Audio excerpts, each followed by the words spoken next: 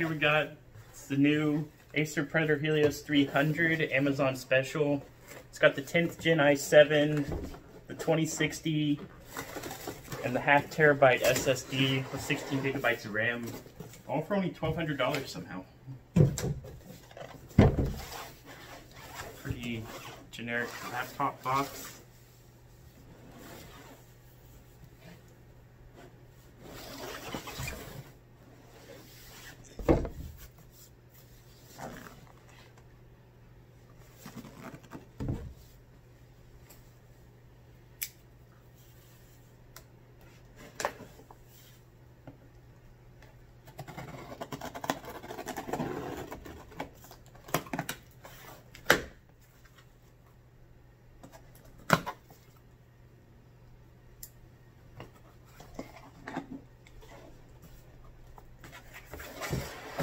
Here inside the box, man, this thing's heavy. We have the much nicer Predator box.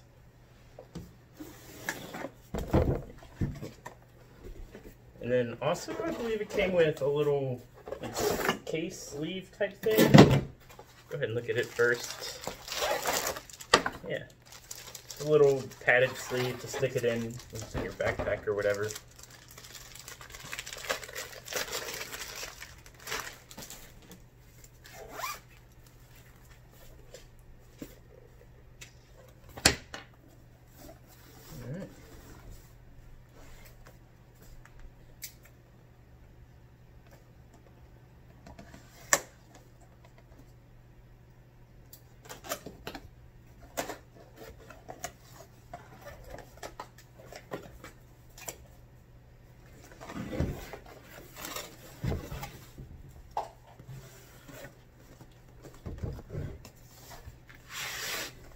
Hefty packaging. Feel pretty confident about UPS throwing this around.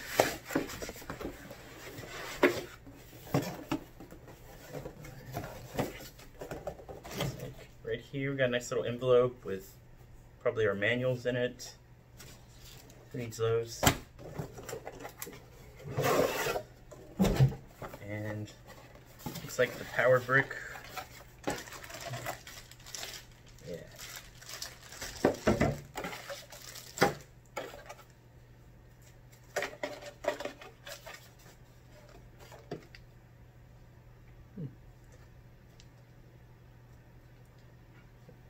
It also comes with a, uh, that's nice, it came with a little cable and it's even got the screws if you want to put an extra hard drive in it.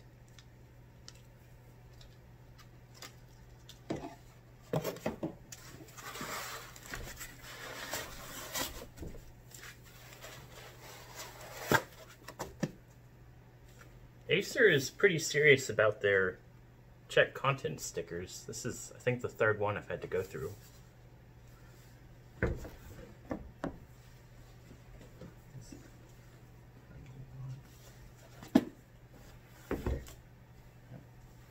This is really nice packaging.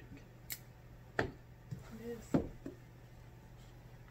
It was like on its head.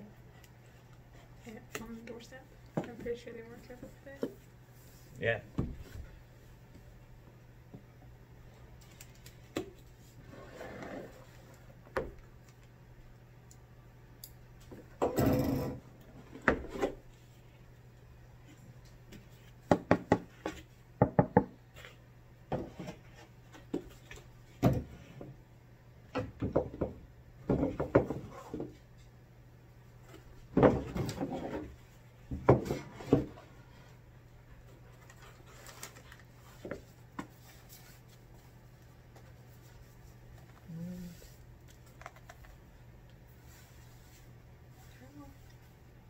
Is.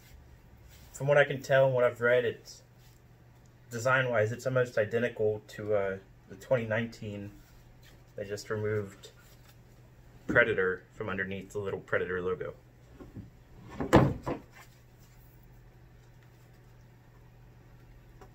It even comes with a little protective gloss sheet for the keyboard. Alright, so I've had the laptop for about a day now. I've gotten a little bit familiar with it. It's 4th of July. You might hear some fireworks going off in the background. So I've got some stock footage from YouTube pulled. Now, my camera I'm using doesn't really do justice to this display. It definitely looks better than it's coming through on the camera.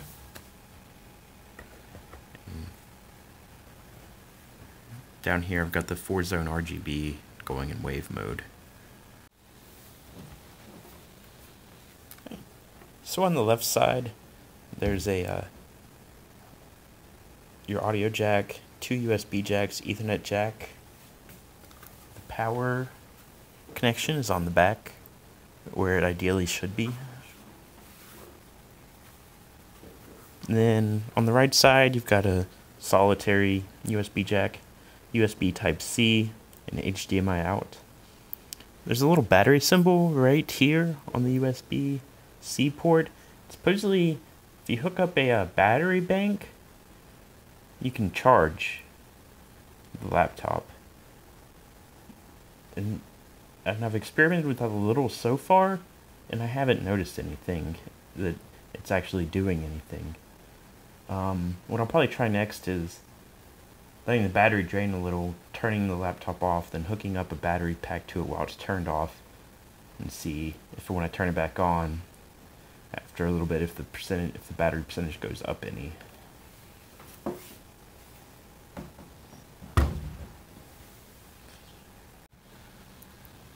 Alright, here's the Predator Sense software that came installed with it. It's very easy to use, quick to figure out. You can set your different keyboard lighting effects. The home screen here shows your CPU temperature. Uh, it's using integrated graphics right now, so there's no GPU temperature. And then I'm kind of curious where the it's getting this reading at, if it's from one of the exhaust ports or what, but a system temperature. And right now, just with the YouTube video going on in the background and the fans are idling extremely low, we can pump them up to max.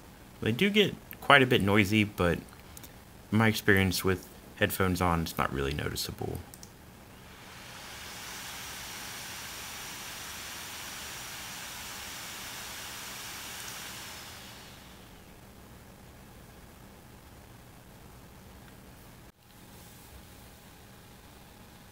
so I've been laptop shopping since about when COVID started, and I really wanted to get something with one of the Ryzen 4000 series chips, but